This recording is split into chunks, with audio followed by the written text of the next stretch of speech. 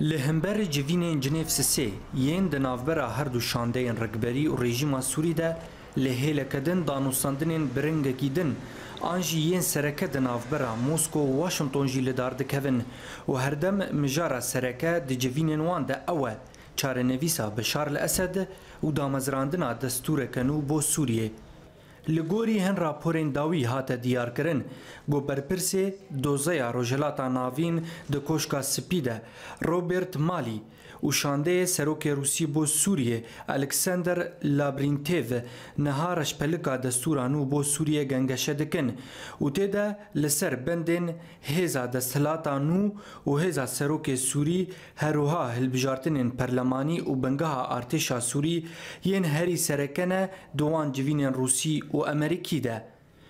Ji aliyê xwe ve Şandeyê Netewên Yekbûyî bo Sûriyê Stîvan Dîmstora gera xwe ya çûn û hatinê di navbera her du şandeyên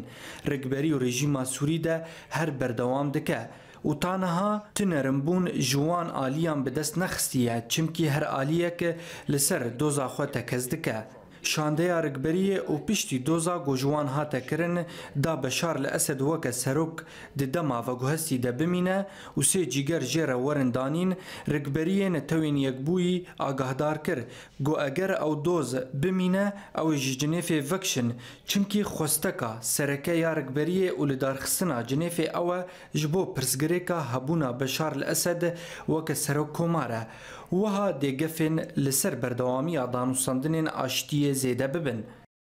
Di heman demê de serokê şandeya rikberiyê Es'ed el-Zu'bî ragihand ku gereke tenê çar meh ji Beşar li Esed re weke serok komar maye, Esad El-Zu'bi eşkere kir ku rikberî tu caran hebûna Esed di asta veguhestî de qebûl nake. Ji aliyê xwe ve, Zu'biyê rejîmê û wezîrê ragihandinê di rejîma Esed de Omran El-Zu'bi eşkere kir ku çarenivîsa Beşar El-Esed ne cihê giftûgoyê ye ne li Cinêv û ne li devereke din, belê di navbera gotinên herdu Zu'biyan de Çavên civaka navnetewî bi taybet ya gelê Sûrî li hêviya çareseriyekê ne, çimkî bobelat û krîza gelê Sûrî niha li hebûna Esed an jî li çûna wî ne gerek e. Ya herî giring û pêwist ji wan re ew e ku çareseriyek were êmzekirin û bobelata wan bi dawî bibe. Nexasim ku nîvê gelê Sûrî niha pena bere.